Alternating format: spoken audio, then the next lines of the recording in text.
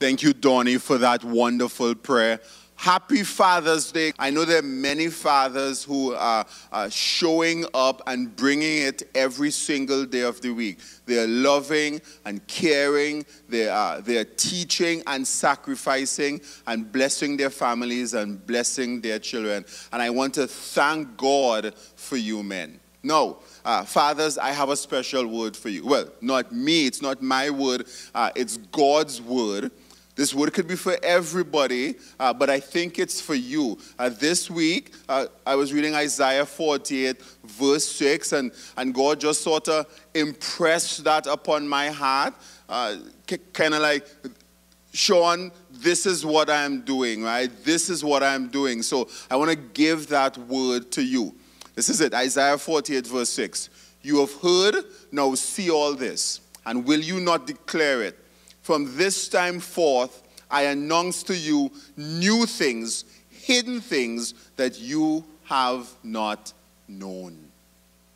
God is doing a new thing. He's doing a new thing in the world, and He's doing a new thing in your heart. He's doing a new thing in your life. He's doing a new thing in our time. And I want you to receive that word. This is the season of a new thing. Now, I also want to say uh, a big thank you to all of those who came and made yesterday such a blast. To all our volunteers, to the planners, to those who raised money for this to become a reality, to Island Bagging and our brother Stanley Bassett, to Meridian Trust. Thank you so much. Because of your combined efforts, we were able to give out hundreds and hundreds of bags of food to those who needed it most. You guys are rock stars. And I thank God uh, for doing such a great thing in your life. Uh, what a blessing it was to see what we saw yesterday. Okay, so my name is Kenyatta, and if this is your first time viewing our service, I'm one of the pastors here at Harvest Bible Chapel. Today we are in Acts chapter 21 from verse 27. So why don't you go and get your Bibles out? Go to Acts chapter 21, verse 27. We are picking up from where we left off last week, where we talked about the fact that uh, what to do when the road ahead is bumpy. Uh, we are continuing in our series, uh, Unstoppable God Church on Mission. Uh, so I'm going to pray for us right now. Uh, Father, I praise you for being great and kind to us.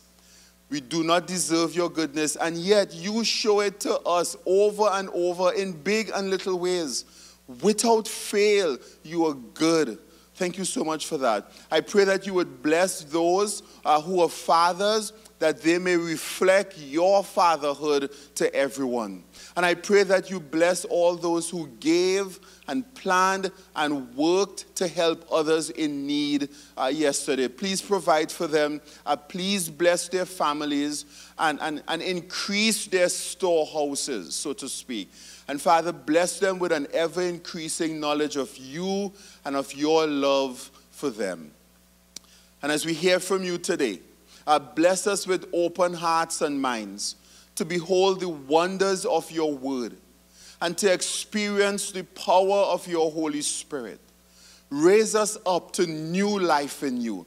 Fill us with hope and wisdom and love. Grant us peace and clarity for these times. Guide our steps into paths of righteousness and justice and generosity and salvation. We love you, Father. Help us to love you. Help us to love our brothers and sisters even more than ever. In the precious name of Jesus, we pray and believe. Amen. Amen. Well, last week, uh, the Word of God told us that uh, when the road ahead is bumpy, when hardships, when suffering, and when pain is ahead of us, that we should seek out others, we should stay the course, we should share God at work stories, and we should submit to wise advice. Now, I hope you are keeping those things in mind, and I hope that you are choosing to do them now rather than later, because if you do, when you are actually on that road, when suffering and pain and tough times are not a distant thought in the future, but a present reality, then you would be ready to do this. And I want you to write this down. Go ahead and do that now. Write this down, please. Trust God because He is with you. Trust God because He is with you. Now, look at the text Acts 21 uh, 27 and uh, follow along as I read. When the seven days were almost completed, uh, the Jews from Asia, seeing him in the temple, stood up the whole crowd and laid hands on him, crying out, Men of Israel, help! This is the man who is teaching everyone everywhere against the people and the law and this place. Moreover, he even brought Greeks into the temple and has defiled this holy place. For they had previously seen Trophimus the Ephesian with him in the city, and they supposed that Paul had brought him into the temple.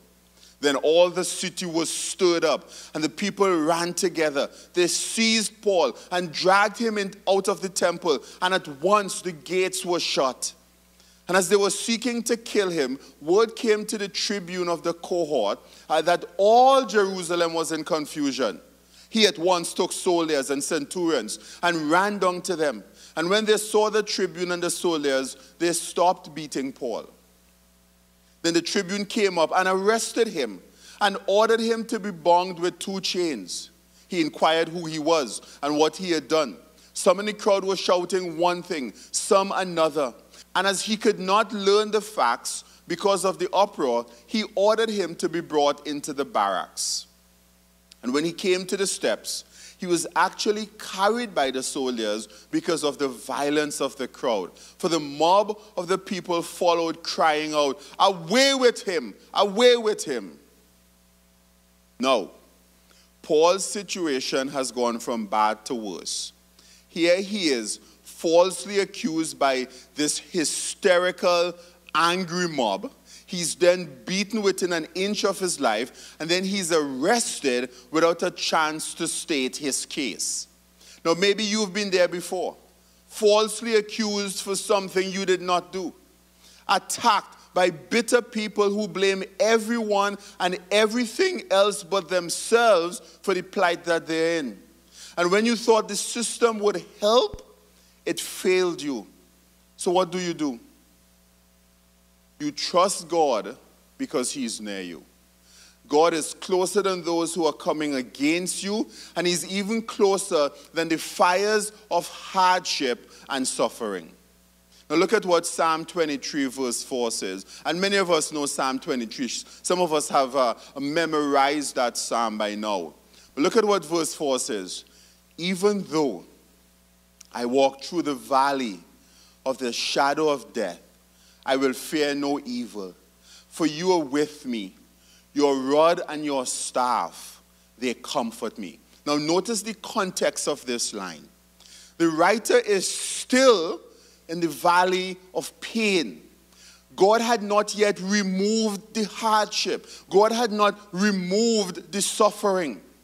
But what is of most importance to him is not escape from pain, but the presence of God in the moment, in that season, or that age of pain. He is rejoicing because God is with him.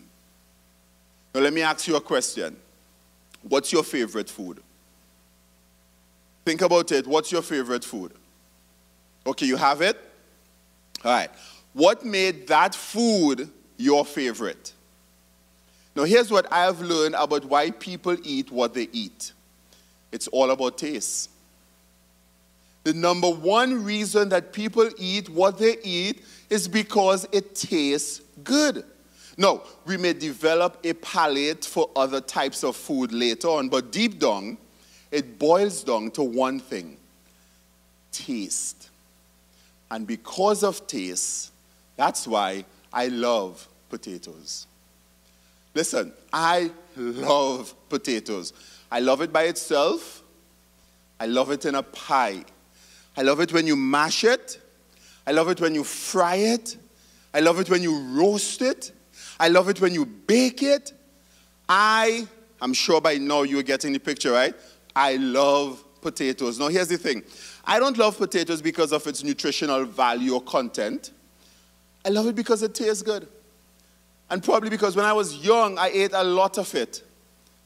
No, speaking of which, I remember thinking when I was much younger, and I remember thinking this boy, I can't wait to get older. I can't wait to get my own money so that I can buy as much potatoes as I wanted. Because for me, um, happiness when I was young uh, was mashed potatoes and corned beef, and I love that. No, as much as I like potatoes, you know what I've never thought about? I've never thought about how long it takes for my stomach to digest potato. No, hands up if, if you choose your food on the length of time it takes to digest. I'm sure not many of us raised our hands, right? Uh, but get this did you know that potato alone takes about 60 minutes to digest in the stomach? That's a little bit of trivia there for you. However, if you add um, beef and cheese with that, get this, it can take up to four hours to digest. Now, uh, why is it that the time a food takes to digest in a stomach does not determine whether we eat it or not? You know why? Because taste rules. Nobody is sitting down, wow, um, this is going to take two hours and 45 minutes to digest, so I'm not going to eat this. No, nobody's doing that. We eat food because it tastes good. But guess what?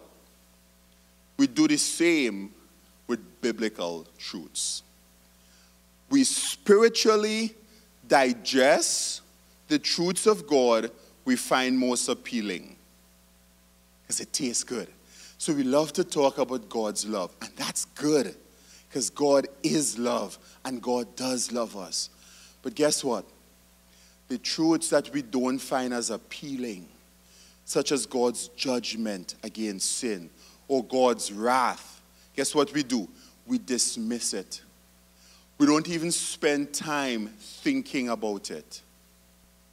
Now, depending on what your spiritual digestion system looks like, what I am going to say to you will either take a long time or a short time to spiritually digest. So get ready, right?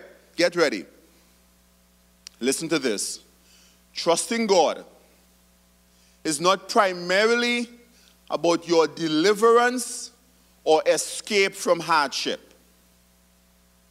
It's about God's presence with you, according to what Psalm 23, verse 4 says. Uh, the object of trusting God is His presence. In other words, we trust God to be near to us when we are going through hardships, when we are going through difficulties, rather than deliver us or delivering us from hardships. So when everyone is against you, when the system fails you, when your friends desert you, when the valley is deep and wide and there seems to be no end to the bumpy road, trust God that He would never leave your side. He would never leave your side. No, Psalm chapter 16, verse 11 says this You make known to me the path of life. Watch this. In your presence, there is fullness of joy. At your right hand are pleasures forevermore. And then Psalm 34, verse 18, reminds us that no matter how hard the season, no matter how hot the fire, or how painful the experience is, God is close. And get this it's in those moments when times are the toughest that God is closer to us than before. But here's the thing to keep in mind the very reality of God's presence brings with it salvation, deliverance, peace, comfort, endurance, growth, clarity, joy. It brings all of these things. So if we limit our trusting of God to deliverance only, we miss out on all the other things that God brings. But get this God has decided in His infinite wisdom that His presence, His nearness to us, to you, to me, is more important than the ending of your tough season. I'll say that one more time. I'll say that one more time. Because it's important for us to get this, and I want us to digest this. God has decided in His wisdom that His presence, being near to us, being with us, is more important to us, more important to you, and more important to me than the ending of your tough season. So trust in God that He is near, and then trust in Him that He is near to you. That's how we do it. We trust that God is near. Does that mean you cannot pray for deliverance? Does that mean you should not pray for healing if you are sick? Does that mean that you should not pray that God uh, would give you justice? No. It doesn't mean that, but this is what I'm saying, right? And I want to repeat it. This is what I'm saying.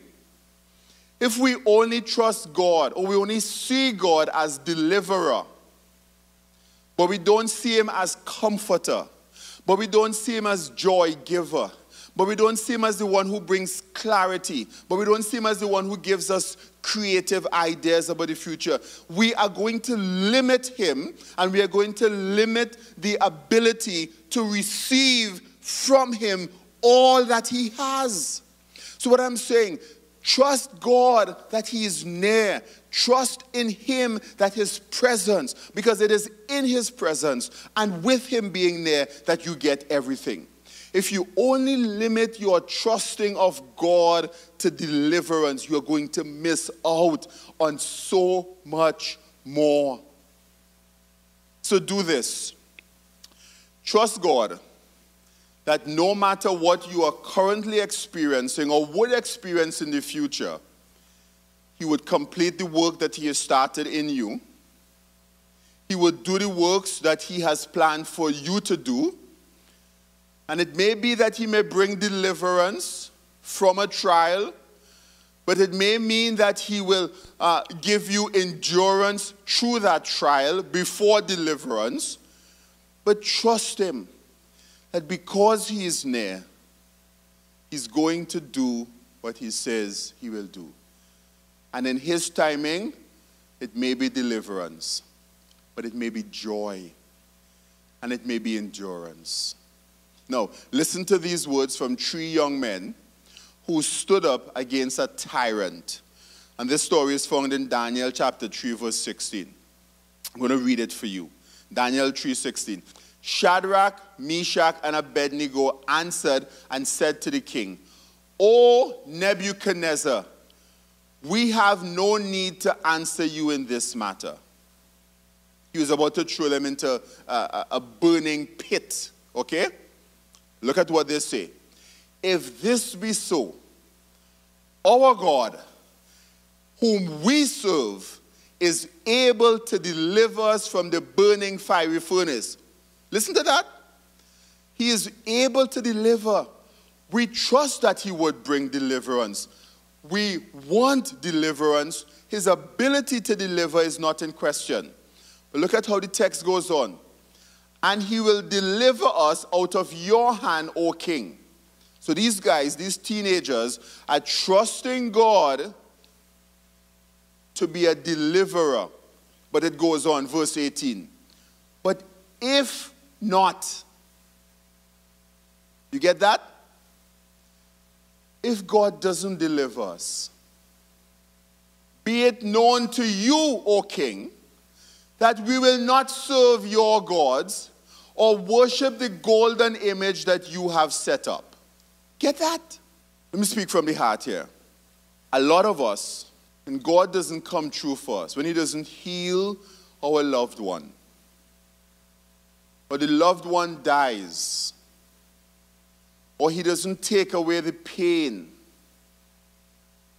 or the marriage that we have been praying about ends, or the job that we have been praying for, we lose that job, we get fired. You know what some of us do? God, I'm done with you. I trusted you to deliver me, and you did not come true. So I'm done with you. Look at what these guys did. Teenagers. Look at what they did. They told the king, Listen, God could deliver us if he wants. He could deliver us if he wants. But if he chooses not to, we'll still love him. We'll still trust him. And we will not stop believing in his power. We will not stop believing in him because we know who he is. And I want to say this to you. Maybe God has not yet delivered you out of your situation. Maybe God has not delivered you or healed you from that thing that you have been praying about. But I want you to know this God is with you in the fire. He's with you in the storm. He's with you when you cry at night. He's with you and He hears you when you cry out to Him, when you think no one is listening. God, how long? How long must I endure this? I want to encourage you trust His presence because He is with you. And His presence is more important and more necessary to us than his deliverance. God will never leave you and he will never forsake you. So trust him. Let's pray.